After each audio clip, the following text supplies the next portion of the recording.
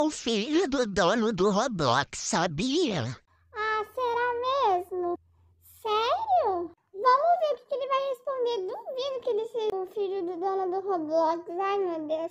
Sim, tenho tudo nesse jogo. Tipo, quem então? Eu sou o prêmio e sou melhor que você. Meu Deus. Ser premium e rico não significa nada. Não faz você melhor do que ninguém, né, gente? Que você é premium. Vamos ver, pessoal, se ele vai me provar mesmo se ele é premium ou não. Vamos no helicóptero? Helicóptero, gente. Acho que ele quis dizer helicóptero.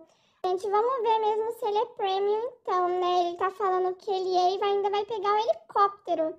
Então, vamos ver se é verdade mesmo.